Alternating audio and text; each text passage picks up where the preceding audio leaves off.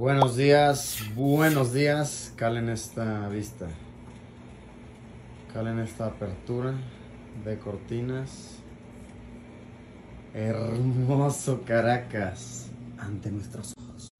¡Wow! Estamos alto, de verdad alto. Miren las nubes. Ante nuestros pies son nuestras discípulas. Buenos días, Caracas hermoso. Miren qué cool, en el desayuno del hotel te ponen ingredientes para que rellenes tu arepita, baby. Muy completo el buffet. Sí, sí, estoy muy fascinado con este hotel, muy cool. Oigan, y una vez más, la neblina llegó a por nosotros. Es muy impresionante, así dejas el paisaje desatendido 20 minutos, media hora y ya blanco, blanco. Y luego a la media hora otra vez ya se ve. Muy, muy loco. Y se siente frísimo. Nada más aquí ya estás tocando la neblina, te moja. Helado, sí, ahorita hace frío. Pues que sí, estamos. ¿A cuántos metros estaremos sobre el nivel del mar? Muy, muy arriba, muchos.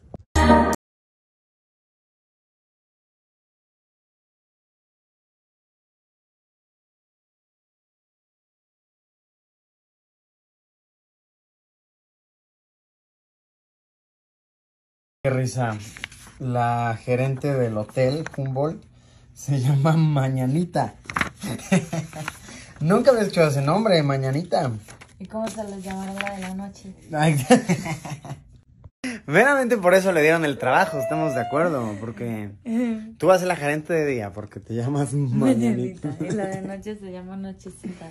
Y será por las mañanitas que les pusieron así. ¿Conocen a alguien llamado Mañanita? Así se ve el Hotel Humboldt por fuera. La neblina lo tapa bastante, pero más o menos para que nos demos una idea.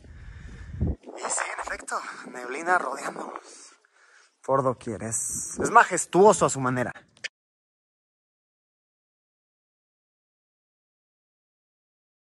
Ah, les digo, esta cosa tapa en cosa de minutos. O sea, miren, nos tardamos tales 3 minutos, 4 minutos allá y ya no se ve el hotel. Ah, está entre nosotros. Es como una escena de la bella y la bestia.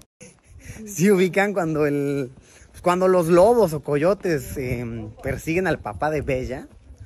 Así me siento. Y te bajan en un jeep. Muy bello.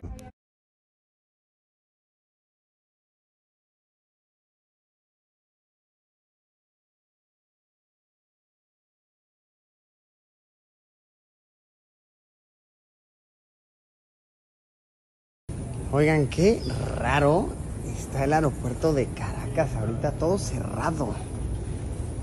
Todo, y vaya, es, es plena hora del día, ¿eh? No, no es ni muy temprano ni muy tarde. Ahorita es el pleno apogeo del día. Estoy intuyendo, estoy pensando que es por esto de la semana radical, como que aquí en Venezuela con toda la situación del COVID tienen una semana flexible, le llaman, que está todo abierto y una semana radical, que está todo cerrado. Es una medida un poco rara porque pues justo cuando es la semana radical, pues pasa esto, que no, no encuentras pero nada.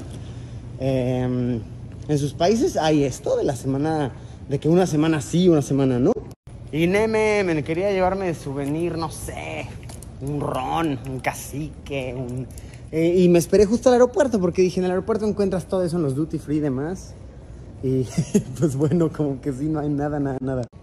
La ciudad zombie del aeropuerto de Caracas. Ah, hubiera estado bien también comprarme un uniforme de Ayulimar. Nememen. Eso hubiera estado muy cool. También quería comprar en el aeropuerto una nueva playera de la, la Vinotinto. Ah, pues ¿cómo es el color? La Vinotinto. Que es el uniforme de fútbol de Caracas.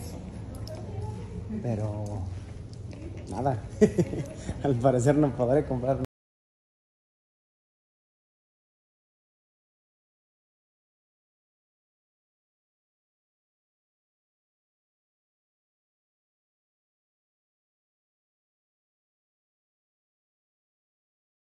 Pues hermosa, bellísima Venezuela. Eh, me retiro por ahora.